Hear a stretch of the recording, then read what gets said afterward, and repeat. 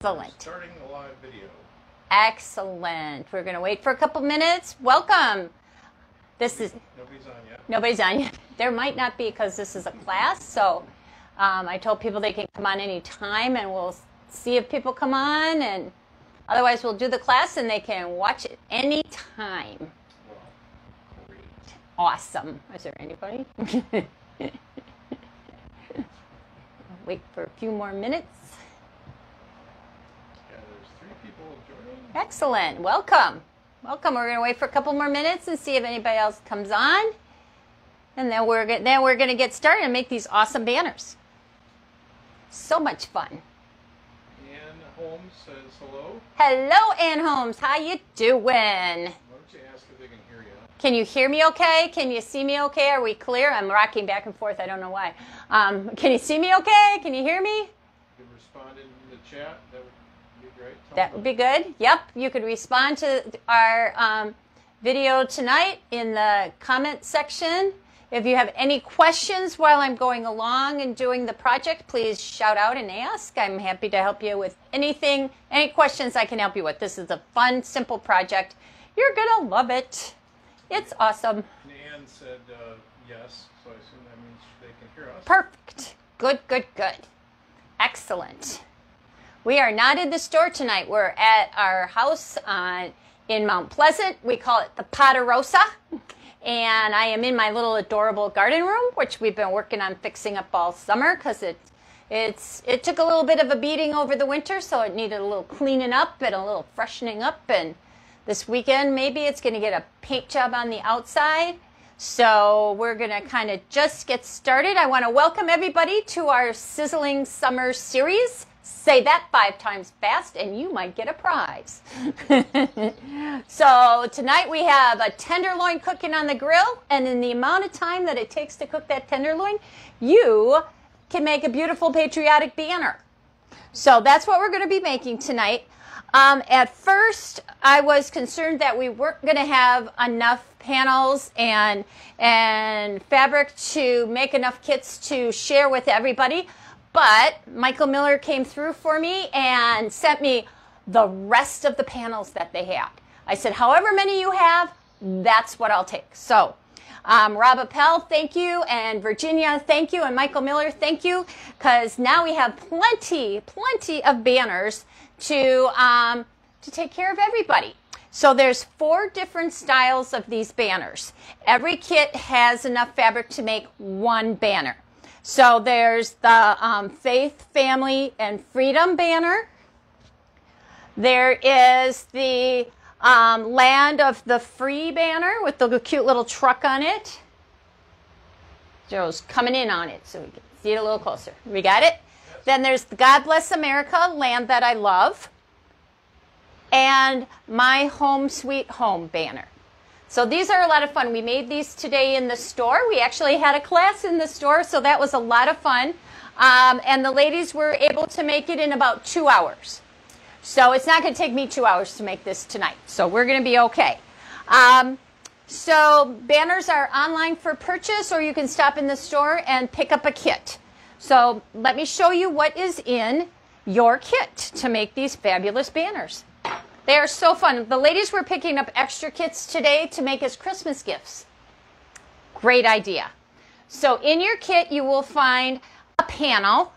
So one of the four panels. This is the one that um, one of the ones I'll be working on tonight. So you'll get your panel. You'll get two pieces of fabric. One is a little bit smaller than the other, as you can see right here. The larger one goes on the bottom. The smaller one goes on the top. That will be your top band. This one will make the little point that's at the bottom of your banner. And then you will have backing. And so you'll have a piece of fabric for your backing. So those are the four things that you really need to make this, this um, banner. Now in my, in my banner, I put, I, I made some different ones and I put different um, stabilizers in each banner just to see what they ended up looking like. So this one has kind of a deco bond in it. It's a heavier, and I'm going to show it to you in a minute. It's a heavier stabilizer, heavier, heavier interfacing that is fusible on one side. Then on these two, I just use some soft and stable, and I'll show you what that looks like in a second. That is also a woven, um, a lighter weight interfacing that is fusible on one side as well. And then in this last one, I put some, um, just some scraps of batting that I had left over. So I put a scrap of batting in here and I fused it using um, um, Bo-Nash. So I fused it to the background using Bo-Nash. So I'll show you how I did all that. So let's get started and make one of these fabulous banners. Um, I'm just going to set this right here for right now. Alrighty, so step one in making your banner is to cut it down to the right size. So your little banner piece comes pre-cut, but we want to cut it down to about 15 and a half by 19. And I did that because um, that's just the right size to fit in one of my um, garden post, You know, the little one that comes out and then it has the little thing for hanging. So it's just the right size for that. And it's also the right size for those door hangers that we have at the store as well. So it's just the right size to fit in your doorway. So the first thing I did was take this and I folded it in half. And as you know, I kind of tried to get it pretty well lined up. And as you know, when a panel gets printed, they don't always get printed straight. And we cut them as straight as we could because the, fabric was rolled on a bolt with all four of these together and we had to cut them apart. So we did the best we could to get them nice and straight. So I'm going to lay this flat, kind of line up my selvage edge, and then you can see that this is a little bit off. Joe is going to sneeze. There's a lot of stuff blowing around in the air out here. So say hi to Joe. Um, so you can tell that, you know, this isn't all lined up. So we're going to get that all nice and straight. And I'm going to use my Creative Grid ruler, the Big Easy. This is my, oh, this is my absolute favorite ruler. And I'm going to lay my ruler with the seven and a three quarter inches. You could. I'm going to line up seven. Here's seven. And then each of these white lines is a quarter of an inch. So seven and three quarters right along the fold fabric that I laid out. Okay, seven and three quarters. And come over here to go seven and three quarters. Then I'm just going to cut it. That's the great thing about this Big Easy ruler. I can cut something that's 15 inches wide with this ruler by just folding it in half like that. So amazing. I know, it is amazing. And you saw it didn't move or anything. So we don't need that. So then we're going to cut this down to 19 inches. And I'm going to go from this way all the way up to here. So I just kind of eyeballed it. I have it at about, I can't really see what this here. Okay. Um, 19 inches is here. So I have it at about, this one is about an inch and three quarters from the top of my writing here. And this one's about an inch. So I think I'll go about an inch and a half. And you can eyeball it if you want more of a border on the bottom than you do the top. You could make it longer by just leaving this on here where you should have enough backing to do that. So I line this up so my 19 is going to be here and that's about an inch and a half down from the lowest point of my border here or my panel here. And from the top of the writing here, it's about an inch and a half. So then I'm going to take and I'm just going to spin around here and I'm going to cut this part off. Then I'm going to flip this, line the 19 up with the line that I just cut. With this little piece I just, I just cut this, so that's nice and straight. And then I'm going to take one of the long lines and I'm going to line that up right along the fold. Just like that. And then I'm going to cut this off down here. So now I have it about 19 by 15 and a half. Ta-da! Easy peasy. Cute, right? Now we're ready to continue. You can do this. You got it. All righty. So the second step is then to take the top and the bottom pieces that are in your kit and sew them onto your banner, your banner piece that you just cut. So remember the top piece is smaller, the bottom piece is larger. Okay? Piece cake. Got it, right? Excellent. Now I kind of took it and I trimmed it off. I didn't trim the top and the bottom to the exact size of the banner ahead of time. I just sewed it on and now I'm going to trim it off straight and even. Take my ruler, throw this down. I, when I do this, I'm going to line up, I'm going to line up the edge. Oops, let's slip it around here. There we go. Okay. I line up the edge of my ruler with the edge of my panel. And then I'm line, I'm picking another line that's going through here and I'm lining it up with my seam line. So I get a nice right angle. So I do that and I'm going to cut that off. All right, then I'm going to come down and do the same thing on this side on the bottom. Line up the edge of my ruler with the side of my panel. Line up one of the black lines that runs through here with my seam line. Then I'm just going to take this and trim it off. And I will repeat on the other side. Just like that. You know what? I'm going to quick, I know this is not going to be hot enough for my, my interfacing. Okay. Quick turn on that iron again. And so now I'm repeating. I'm doing the top and the bottom. This ruler makes it so easy. You've got so much space to line things up to make sure they're straight. And you can see when I'm cutting, look, I can just put my finger on here and cut. That ruler does not move. Love it. Okay. Um, I'm going to keep this. So now I have everything trimmed off nice and easy. I have my top on. I have the bottom on. And I'm ready to add whatever type of interfacing I'm going to use. Now you could just leave it this way and it'll be just it'll be just soft and that's fine too you don't have to put anything in here so the one that's the stiffest is the decobob decobond and that's this so you can see it's kind of thick it's kind of you can see it's kind of crunchy kind of thick it's shiny on one side plain on the other and it's almost like a, a heavy kind of piece of paper um, the other one that i used is um, Shape Flex, and that's like this. This is lighter. It just gives your fabric some body, and it's iron-on as well. Iron's on that's really bumpy on one side, smooth on the other, and it's a woven interfacing. And then the other thing, oops, I got a great big long streamer on that one. And the other thing I used was batting. So you can just pick whatever you would like to put into your banner. So for this one, I'm going to use the little bit stiffer stuff. So I lay this on my ironing pad with the shiny side facing up. Yep, shiny side facing up. And we were talking about this today in class.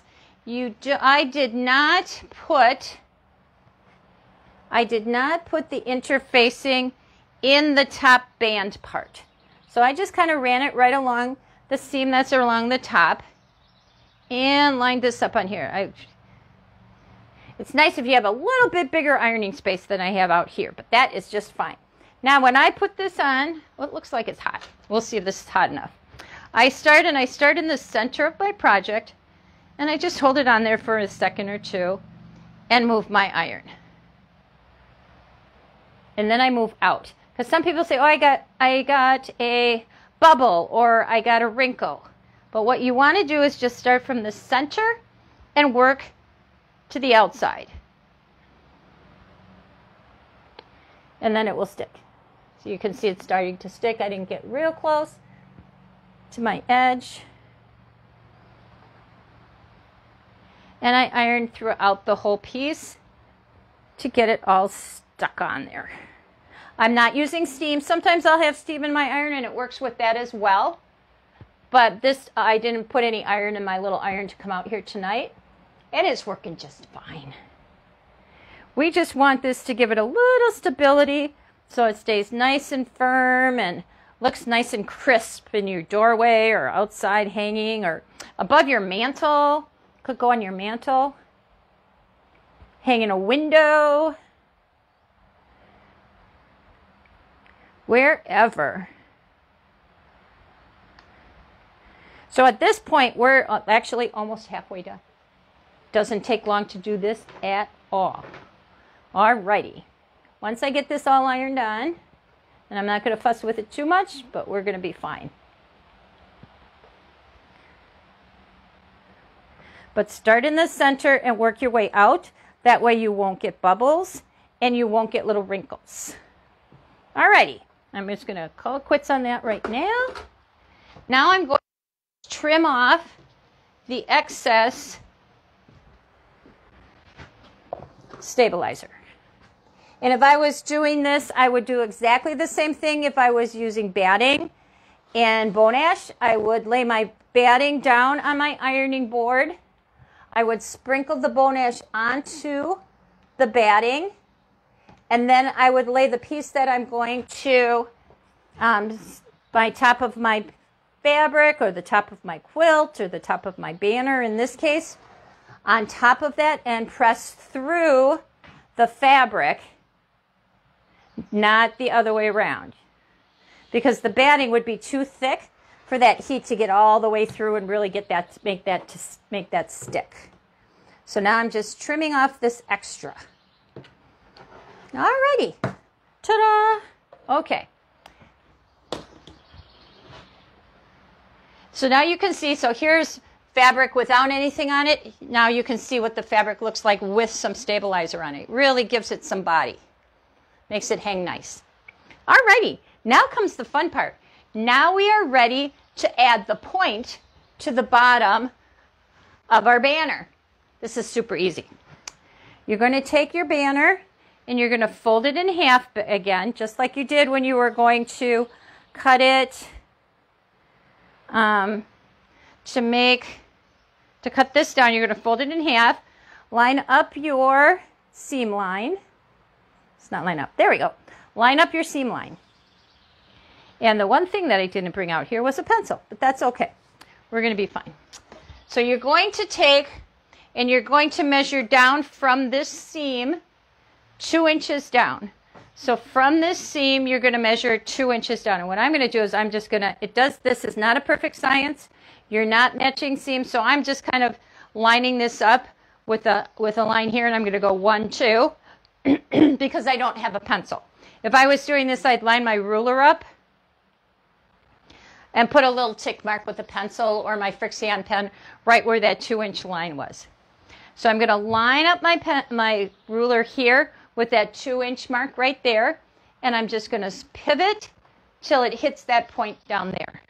So I'm about two inches here. If it's a little less, if it's a little more, doesn't matter. Doesn't matter. So from two inches here all the way down to that point. I'm going to cut right there, get rid of that, and I have my point. You can, I think in my instructions, I told you to like cut this piece and then cut your two inch to um, cut your point. But I think it's easier if you sew this on here first and then cut this point because you will get this right exactly in the middle, which is where you want it to be. If you cut it first and it's a little off when you're sewing it on, then your point might not be in the middle. But this makes your point right in, right smack in the center. And look at how cute that is. Really, really cute. Okay, now we've got only a couple more steps before we have our banner done. Now we're ready to put the back on. Now we found that the easiest way to do this today, we did a couple different ways and I did it a couple different ways when I was making up the pattern. But really, the easiest way is just to take your backing and lay it on top of your banner, right sides together, and you're going to have extra here. And if you look down here, don't panic. You're going to start panicking you're going to say, I don't have enough backing for the back of my, my banner. Well, you do. Because what's going to happen is we're going to end up, this top band is going to flip around to the back. Okay, so you can see how this top band is going to flip right around to the back. And I'll show you a little bit more how that's going to work. So I've got this right sides together. You can pin it, you can binder clip it. I'm just going to go for it. Jim gave me this cute little machine. We've been using it and it is really fun. It does a great little straight stitch. It's a great, a great little machine to bring to class. There we go. Oops, go. Okay. To hit it and Off we go. I'm going to turn it just a snudge and Joe can get in there and take a picture. There we go. The action here. Get it in on the action. There we go. Usually I don't do this. Usually you don't need to see me sew a seam, but today you're going to watch me sew a little bit of a seam here. Just cuz. Okie dokie. This machine is great. It has a needle threader. It has an automatic cutter. Love it. It has a regular stop and start. It's lightweight to bring to class. It's a great um, little machine for beginners. And you know, he's got machines oh, that are more sophisticated and a little less sophisticated, whatever you're looking for. He can, you know, he can hook you up. So I sewed that at a quarter inch seam, and now I'm just pressing the backing towards the band. So on this one, I pressed, on this little seam, I pressed the band toward the banner. Doesn't really matter, you could go either direction. And this one, I pressed toward the banner. Okay? Now I'm going to take this and I'm going to put it right sides together. I'm going to flip this over, right sides together. And then I'm going to nest my little seams together that are right here. I'm going to get a binder clip. I think that will be helpful. Okay, I'm going to grab a binder clip and kind of clip it right here. So I'm lining up this these two seams. Can you see those right there? The two seams from the band that's across the top. So this seam to that seam. Everybody doing okay? And any questions as we're going along? This is pretty simple, isn't it, girls? You can do this.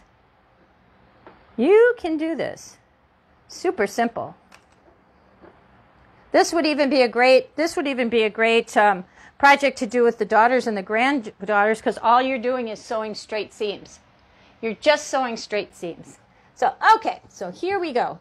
So now you can see how this is laying nice and flat right along. Get my scissors out of the way. Right along my backing. And now you can see that there's plenty of backing here once we folded the, the top band over. Now I'm going to take it and I am going to trim this off. Now I'm going to trim it even. I'm going to get my binder clip out of the way so I don't ruin my blade. Don't you hate that when you run over a pin or a binder clip or something and you ruin the blade?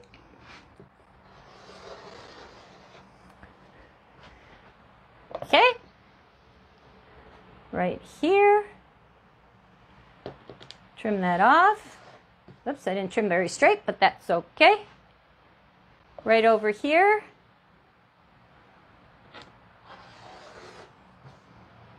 And back up, and I'm going to grab that binder clip before I do that. So now I think you kind of get what's going to happen next, don't you? Really simple next. Really simple last step. One last, well, kind of a last step. Okay, so I've got this all trimmed. At this point, I would binder clip it or I would pin it all the way around. So now when you stitch, what you're going to do is you're going to start stitch start or stop depending on what side you start on. You're going to start stitching right at the bottom of that band. You'll stitch a quarter of an inch going all the way down across the bottom to your point, and then all the way up, you're going to stop about four inches from the top up here. Okie dokie. You're going to, okie dokie. You're going to do that. So I can do that for you right now and show you what it looks like. Okay, I'm going to kind of give it a couple pins just to hold it in place. And I think we can pop around this pretty quick. Oops, I think I'm going to put another one here just to make it go fast. So you can see I'm almost done with this, and I don't know how much time it took me, but not very much time. You can do a whole bunch of these really super fast. They are so fun to do. Alrighty. Okay, so I'm going to start up here. I like to backstitch at the beginning and the end. And this machine has a nice little back stitch. And then we're going to just crank right away. This foot has a little guide on it, which makes life even easier. So if you're a beginner sewer or you have a granddaughter or daughter who's a beginner sewer, this is a great machine. And this little foot that has the this little quarter inch foot that has a quarter inch guide on it is a great machine. I have to do just another stitch or two. That's hard because I'm not sitting quite right up to it, but that is okay. Then we're going to stitch down to the point.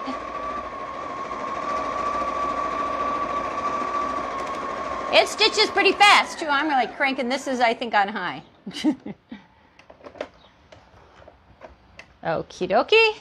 Back up to this edge.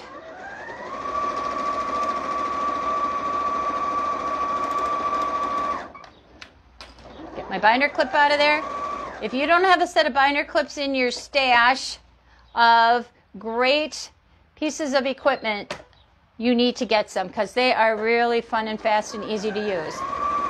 Because sometimes, especially through this thick stuff, it's hard to pin. And a binder clip goes really fast. And if you don't know and you haven't used binder clips, if you look at your binder clip on the bottom, it's on especially on these, it's clear on the bottom and straight, and the top is curved. And that's that way so that you can just take your binder clip, lay it on a surface, like this sewing machine, on a surface, oops, and slide it in, let it go. And then you can stitch right up to it, pinch it with one finger and pull it out. Just, oops, I better stop here. Um, remember, we wanted to start and start at the top of the band and then stop about four inches from the top over here. So I'm going to kind of backstitch on that a little bit because we need a little bit of space for turning. All righty, that's all there is to that. Now, here's a little tip. Okay, that my iron is still on, so that's good.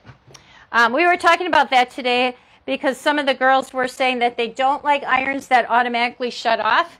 And I said, I do. Those little, the little Panasonic um, um, cordless irons that we have, they stay on for quite a while.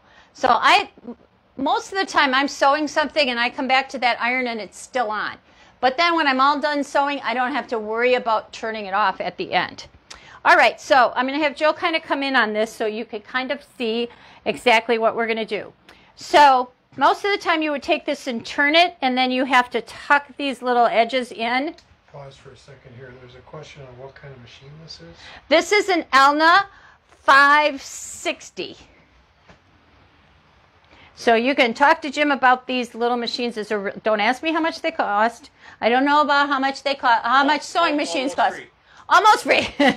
More than nothing, less than oh my god. Okay, um, so I, I don't really know because if you ask Jim how much um, how much a batik is per yard, he won't know that answer either. So um, talk to Jim. He's got some. He's got mach- he, you know he's got machines. He's got machine. Boy, does he have! Have you seen all the machines we have? They're awesome. So he's got a machine that's just right for you, and he'll hook you up with the right one.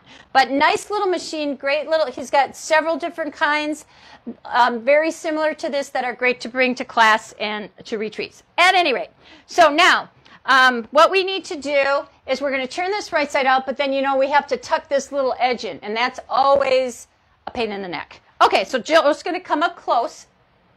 He's like, I am? Okay. So if you can see my stitching right here, I'm going to take this little scissors and I'm going to clip right up to that stitching. And I'm going to do the same thing over on this side. Only I'm going backwards. But I'm doing the same thing over on this side. Then I'm going to take my iron. I'm not going to fuss too much with this tonight. But at this point, it's a lot easier to fold this back. I'm going to grab my iron. To fold this back and make a nice straight seam on this. I'm going to be fussing with this a little bit. There we go. We're going to make this nice and straight. Press it here. Okie dokie, I'm not doing it too straight because I'm a little bit too low. And then we'll flip it over and we'll do the same thing on this side and kind of line up this, this edge with the other edge. So that once you turn it right side out, you don't have to try to get all this tucked in. There we go. All of this is going to be tucked and pressed and turned before you turn it right side out. Makes it a lot easier than trying to tuck it in and get that smooth from the outside later. So I'm going to give that a little press. Hold it on there for a couple seconds. There we go. And then I'm going to do the same on this side. And at Patchwork Party coming up, I have a little tool that's going to help you do this a lot easier, but I didn't bring it home with me tonight. We just got them in. It's going to be one of our nifty notions that's going to be on sale at Patchwork Party. Remember that Patchwork Party is the second Monday of the month at 6 o'clock, Facebook Live. So we're going to do the same thing over here with this. And ooh, I think I can put that down for one minute. One, two, three. As I burn my ironing mat. Okay. Nope, it's still good. I'm like, faster, faster, faster. there we go. So these are nicely turned. They're lined up nice and straight. Now I'm going to turn this right side out. Da, da, da, okay, grab it. What I do is I come down low, I come all the way down to the bottom corner and I kind of grab it and I pull it through. Any questions so far on what we're doing, how we're doing it? It's a fun, easy project, isn't it? This is the fun part when you're standing here pulling this all apart. Excuse me. So don't forget that we're going to have Christmas in July coming up um, July 21st, I believe is the correct date. Down below in the feed, there should be a link to purchase any of these kits. So you should be able to just click on those that link and purchase your kits if you'd like to. We're happy to ship them, or you can stop in the store. Jill is asking if you need to clip the corners. I didn't clip the corners. You can clip the corners if you want to. I didn't. If you used batting, I would probably clip the corners. But we didn't clip them today and they popped up just nice. So nice. But what I didn't do on this, and you'll see when I do this, what I didn't do because I quick stitched these and I wasn't fussing when I did it, but I'll show you what you what you don't want to do and what you will want to do. So I didn't clip these. I did this at a quarter of an inch and these with my nice um, point turner. It turns out like that. Beautiful. And I didn't clip them. You can if you want to, but sometimes you end up clipping them too close and then your point turner goes through. These usually, this point turner usually doesn't, but because it has that nice ball on the end, but it this works out really nice. There we go. Ta-da! Now we're just going to flip this other side out. And you can see even without coming along to press it, how nice this little top already is lining up. So this is my little, you can see how nice that is already and I haven't even done anything to it. And you don't have to try to tuck it in and get it all lined up. So I would come along and I would press this all nice and flat. See, I didn't trim and these are all nice and pointed and the same on this side. Now, the only thing I can say on this side is look what happened here. When I stitched this, I didn't back stitch at the beginning and the end of my little seams and they started to pull apart. So when you sew these on and this on, Make sure that you backstitch at the beginning at the end. What on? The bottom Okay. and your top band Okay. on both your front panel and your back panel. Okay. Because it's starting to pop off a little bit. Okay. I can fix it, but so backstitch there and there, and this would have fallen just really nicely in place, which you can tell that it already is, even though it's popping apart a little bit there. And Fabish said it's the that is the best point turner. Best point turner ever. We have these in the shop. Um, several reasons why I like it. Some point turners you have and they roll around. This is kind of squared off. It's squared off so it doesn't slide in your hand. It's nice and long and it's got a little ball at the end. So when you point, so when you push that point out, it doesn't go through the corner or through your little point out there. It doesn't go through your fabric. Perfect. You're going to love these. Um, so at this point, I would press this all really nice, nice, nice. Um, you can do any kind of stitching on this that, that you want. Um, what I what I do is I come along and I top stitch here, I stitch in the ditch here, top stitch back up here, and in doing so, I close up that four inch um, hole that I made for turning. Now I leave, I stop stitching at the top of the band so that I have a place for my rod to go through. Okay, at that point, yeah, fun. At that point, you could stitch around all these. You could do some decorative stitching. You could just leave it plain just like this, and they're awesome. So four different styles. A lot of fun. It took me what? 33 minutes. A half an hour. A half an hour. Half an hour to make. Any questions? Excuse me. Next week we will be making, wait, right here. Next week we will be making these little tote bags. These are done with, by using um, printed interfacing. So this is next week's project. So join me next Wednesday night at 6 o'clock, or if you have time and you want to, you can make these in the store with us at 1 o'clock. So join us. Thank you so much. If you need anything, give us a call. Bye.